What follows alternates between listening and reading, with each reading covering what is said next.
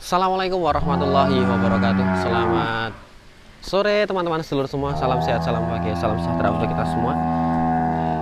Alhamdulillah kita masih diberikan kesempatan nikmat sehat uh, Sehingga dapat berjumpa kembali pastinya masih dalam kondisi yang berbahagia. Nah sekarang saya berada di rayon belakang di mana rayon belakang ini dihuni terhuni sama sapi-sapi ekonomis yaitu meliputi sapi Madura dan sapi Bali ada yang sedikit berbeda dan saya tidak akan membahas itu karena kita kami kehadiran sapi berukuran jumbo berjeniskan simental dan pastinya istimewa. Yuk kita lihat bersama.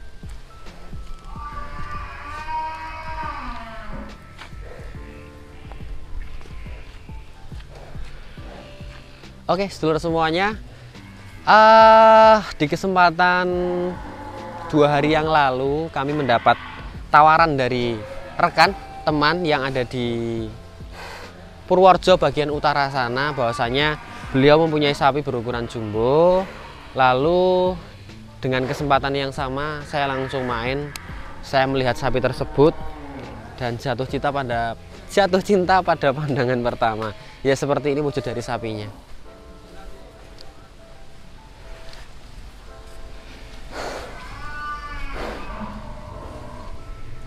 Oke, uh, ngomong-ngomong sapi jumbo, teman-teman sedulur semua, alasan kenapa saya mengambil sapi jumbo tidak lain karena permintaan dari Bapak Ibu sekalian pastinya, saking banyaknya permintaan dan saking sedikitnya populasi atau jumlah sapi jumbo yang ada, maka dengan kesempatan ini sapi ini tidak lebih dari satu hari sudah sold, sudah terpesan, sudah terjual. Walaupun saya beli bukan dalam bentuk pesanan, maksudnya saya beli itu bukan uh, menyediakan pesanan Bapak Ibu sekalian tidak, karena memang ditawari gitu.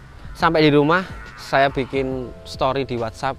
Alhamdulillah dapat respon baik dari customer. Nah seperti ini wujudnya untuk bobotnya sendiri timbangan terakhir 960 artinya satu ton kurang sedikit. Tapi untuk melihat kualitas size apalagi ya jogrok wujud dari sapi ini sendiri saya yakin teman-teman semua pasti akan tersepona.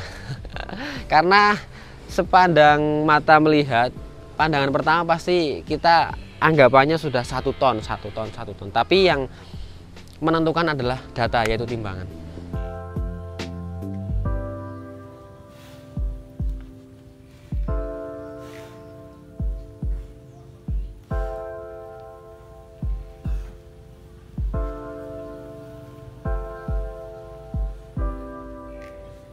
Oke teman-teman seluruh semua ngomong ngomong-ngomong sapi jumbo tidak afdol. Kurang afdol kalau kita tidak melihat secara keseluruhan tujuannya untuk apa biar bisa belajar bareng. Sebenarnya sapi yang bisa jumbo sapi yang bisa potensi menjadi monster itu yang ciri-cirinya seperti apa sih? Tidak lain yang pertama kali kita lihat adalah kepala. Karena kepala bagi saya menentukan semuanya. Misal ini ya teman-teman. Kakinya gede tulangnya gede, badannya tinggi panjang, tapi kepalanya kok kecil gitu kayak mohon maaf sapi Bali atau sapi Madura kecil gitu ya. Potensi sapi ini menjadi jumbo satu ton up saya kira susah juga. Jadi dari kepala kita bisa melihat ciri-ciri, ciri-ciri sapi simental, limosin atau ciri-ciri sapi jenis lainnya. Nah, memang yang paling indah dari sapi ini adalah kepalanya. Mungkin untuk teman-teman semua yang setia selalu menonton channel kami, sekilas mirip si uh, siapa ya dulu ya? Pasti tahu lah yang matahin bambu di atas truk itu loh. Nah mirip kan dengan sapi itu? Uh, karena memang ciri khas dari sapi simental itu mempunyai kacamata biasanya tapi tidak semua. Kepalanya putih rambutnya sedikit keriting dan mempunyai kacamata. Nah demikian dengan sapi simental ini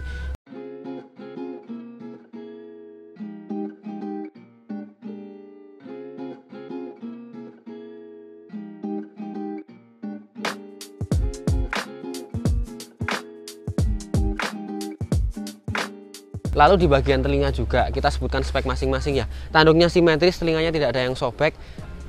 Nah, ngomong-ngomong telinga ini kita mempunyai apa ya?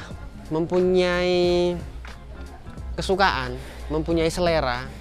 Itu berbeda-beda. Ada yang bisa menyebutkan di situ telinga kecil lebih cepat gemuknya. Telinga besar ada yang menyebutkan lebih bagus, lebih tahan sapinya gitu. Tapi penyebutan itu mempunyai makna yang berbeda di setiap tempat. Intinya apa?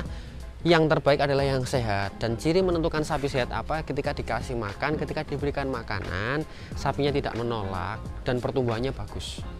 Nah itu sapi sehat. Matanya tidak pucat apalagi telinganya juga tidak mohon maaf tidak lemas.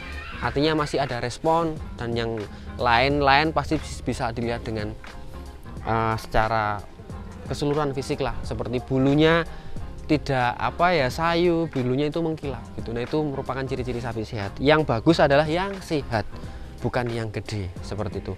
Lalu ngomong-ngomong si mental ini belum selesai saya uh, teruskan. Nah moncongnya. Jadi waktu transaksi akad jual beli kami kemarin itu waktunya malam. Tidak memungkinkan kita buatkan video. Si pem, si penjual atau petani atau mas-masnya gitu. Itu bilang kalau sapi ini insya Allah makanya nggak pernah rewel. Los mau ada sapi baru mau ada keramaian namanya makan tetap makan. Artinya tidak akan pernah mengalami gangguan. Beda dengan si grandong seperti itu. Lalu karena mirip boni ini teman-teman. Lalu makannya juga sama kepalanya mirip tanduknya juga tanduknya beda. Kalau boni tanduknya gede pendek kalau ini tanduknya kecil panjang. Nah itu beda-beda uh, sih memang tidak mungkin sama semuanya. Bagian depan sudah ya gigi pasti sudah boel kayaknya rampas kalau nggak rampas tiga pasang belum kami cek lagi. Lalu karena sapinya nggak mau diajak jalan-jalan rada agresif teman-teman saya akan langsung berbicara di sini saja. Di bagian bawah teman-teman semuanya kita bisa melihat kaki bagian depan. Nah kaki bagian depan di sini sangat istimewa sekali di konten-konten sebelumnya saya selalu berbicara masalah teraca. Teraca itu adalah kuku sapi. Kuku sapi idaman setiap farm itu seperti apa sih? Hitam gitu. Artinya kalau kuku sapi warnanya hitam biasanya sapinya sudah crossing. Apa ya? Sudah silangan. Akan tetapi bila kita bisa selektif memilih sapi memang terkadang ada sapi simental cross atau simental gitu yang kukunya tidak bening karena sapi dengan kuku bening itu sebenarnya bagus cuma kurang tepat kurang pas bila hidup di kandang setiap farm setiap farm itu sendiri kan dekat pesisir panas. Nah sedangkan yang kuku bening itu identik kebiasaan bagusnya tepatnya gitu hidup di dataran tinggi yang suhunya lebih dingin. Nah itu alasan utama kenapa selalu selektif. Ibarat kata orang Jawa papan gompan gitu. Lalu saya akan pindah di bagian atas. Belakang kepala ada namanya leher. Lehernya istimewir mempesona yaitu ada punuknya sedikit. Artinya dagingnya sudah maksimal ya. Tanda leher sudah naik ke atas bukan berarti sapinya gemuk teman-teman semua. Perlu digarisbawahi. Biasanya juga faktor usia rampas. Kebanyakan kalau sapi rampas biasanya uh, apa ya bodinya itu sudah sudah membentuk gitulah. Peribahasanya seperti itu. Tapi gemuk juga menjadi faktor pendukung. Lalu bagian dada bagian atas apa ya geger gitu ya. Itu jembar. Perutnya juga bagus walaupun besar tapi tidak turun ke bawah. Lalu apalagi nih ya? Kelamin. Kelamin sedulur semua. Kelaminnya di sini kita dapat melihat uh, nempel ke perut. Kebanyakan penemuan yang sudah kami teliti di kandang kami sendiri. Ketika kelamin itu nempel perut biasanya sapinya kenceng-kenceng. Nah coba sebutin kelamin sapi yang ada di setiap farm yang kendor. Kalau kelaminnya kendor biasanya sapinya gede-gede tapi kendor-kendor. Nanti teman-teman bisa menyebutkan pasti untuk teman-teman peternak sudah ahlilah dalam bidang pemilihan sapi tersebut. Kelamin sudah perut sudah lalu bagian ekor. Nah identik dengan ciri-ciri sapi simental ekornya pasti gede kecil kecil kecil gede kecil kecil kecil terus lambut bagian bawahnya lebat seperti itu. Sama sih seperti limosin simental cuma perbedaannya kalau limosin biasanya teman-teman semua. Sedikit lebih kecil ekornya tapi untuk rambutnya sama. Lalu apalagi pantat luar biasa. Karena bobotnya juga sudah oke okay, usianya oke okay, alhasil pantatnya juga mantap. Kaki belakang pastinya masih kokoh. Dan untuk saat ini si mental jumbo ini sudah terbooking ter DP oleh customer mohon maaf bila Bapak Ibu menginginkan dengan sapi yang sama, insya Allah kami masih dapat menyediakan, masih dapat menerima pesanan. Yang jelas eh, yang paling indah adalah datang ke kandang langsung kita musyawarah di dalam kandang.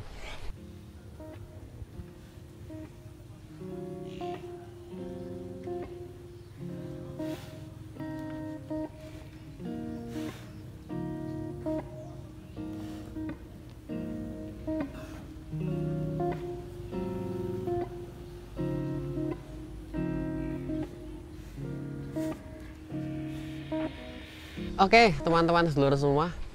Terima kasih sudah menonton channel kami, setia selalu dan kami ucapkan terima kasih yang kedua untuk Bapak Ibu sekalian, teman-teman yang sudah memesan sapi kurban di Berkas Tiafa Purworejo.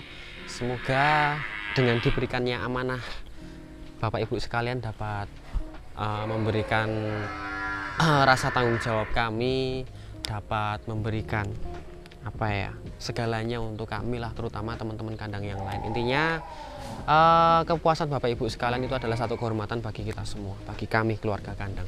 Lalu untuk mendukung channel kami dan untuk melihat konten-konten menarik selanjutnya karena pasti menjelang idul kurban kita akan selalu aktif uh, seputar sapi. Pengiriman penjemputan apalagi ya?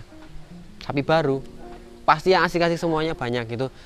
Like comment share subscribe juga dan semoga nantinya di setelah hari raya kurban kita bisa mendapatkan sapi yang modelnya seperti ini lagi dengan ukuran dengan kualitas yang jauh lebih baik. Jangan disesali karena hal terindah hal terbaik bagi sapi itu adalah dikurbankan itu menurut kami seperti itu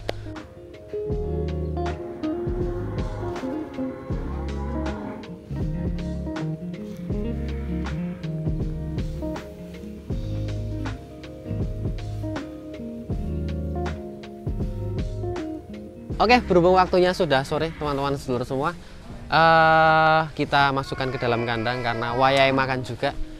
Minkum, banyak kurangnya dalam tutur kata mohon dimaafkan. Wassalamualaikum warahmatullahi wabarakatuh. Mas Juli depan ya.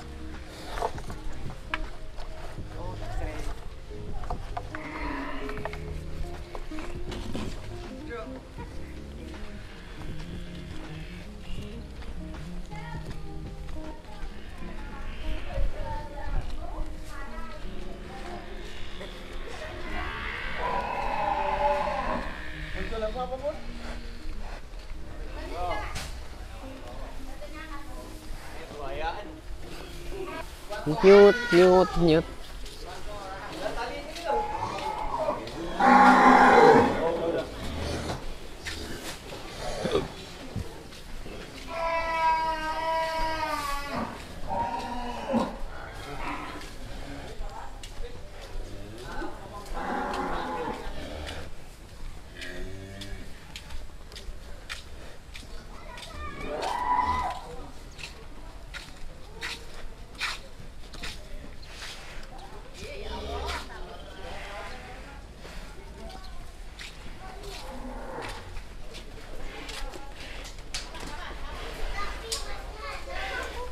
Kakak sẽ ulit.